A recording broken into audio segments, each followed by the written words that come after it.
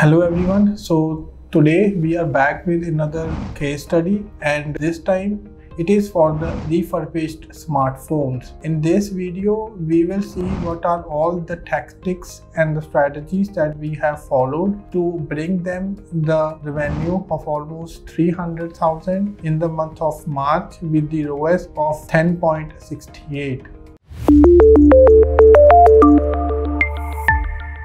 When our client came to us, they were running some campaigns with their previous digital marketing agency, but the ROI was not there. They were having the revenue of almost $4,000 in one month with the ROI of almost two or three. So we have devised them a strategy wherein we have tried to focus on specific type of products in separate campaigns by doing that, we have been able to control the budget for those high spending or high selling campaigns.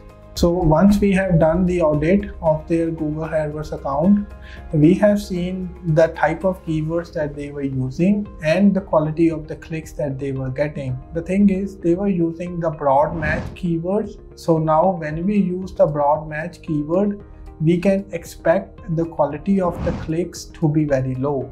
So we have done the competitor benchmarking. We have seen what keywords our competitors are using and then we have chosen the relevant ones. Then we have used those keywords in the Google keyword tool to find out the variations. We have made sure that the keyword should have the word unlocked or refurbished that way we have refrained to get the clicks from those visitors who want the brand new phones because we only sell the refurbished ones. The ad copies was written accordingly, but in the ad copies, we have tried to use the minimum pricing of the product that we are selling. Means if we are selling the refurbished iPhone 14, we have mentioned the minimum price for that product. That way we have been able to filter out those visitors who cannot afford the product even at that lowest price. So as you can imagine the quality of the clicks that we have got was very relevant and that's how we was able to see the conversions or the sales coming in from the first month itself. Other challenge for this client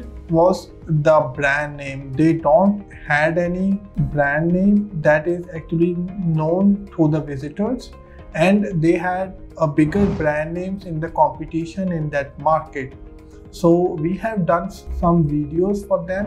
We have done the youtube campaigns for the branding purpose and we have done the remarketing campaigns for the add to cart maintainers and giving them like 5% off coupon code because most of the times that the visitor who leaves the website from the add to cart page the pricing is a major factor so we have tried to do the remarketing for the add to cart abandoners and we did saw a good amount of sales from that strategy for this client, the demographic targeting played a very important role. What we have seen was the 18 to 24 visitors, they, they were only doing the research but they were not buying the product because they don't have the money needed to buy the product. So what we have done was we have included those age ranges like 18 to 24 and, and then 65 plus